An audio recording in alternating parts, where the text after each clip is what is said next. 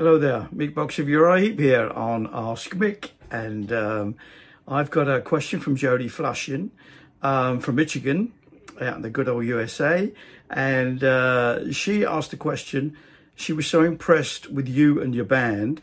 What or who contributes to all of you being such a humble and kind band? And um, I have to be honest, when I about the eighties, I think it was um, I decided there and then that I, you know, I just needed to um, surround myself with positive people and and and um, and not negative people, you know, because it just drags you under and and just um, destroys your upness, if you like, you know.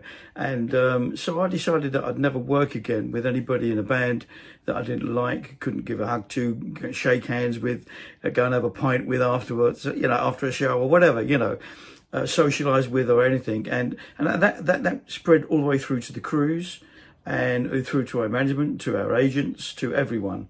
Um, and I think that's really stood stood us well in in terms of you know how we approach how we reflect ourselves i should say with the fans because you know the fans are everything to us and um, we we will give all the time we can to them because you know it's very important it's important for them it's important for us and it's important for the whole thing to keep rolling. So, um, and there's a saying that I've always lived by, you know, you know, treat someone how you'd like to be treated yourself, and you'll do fine. And uh, that's the kind of um, mantra that we live on. So I hope that satisfies you, Jodie.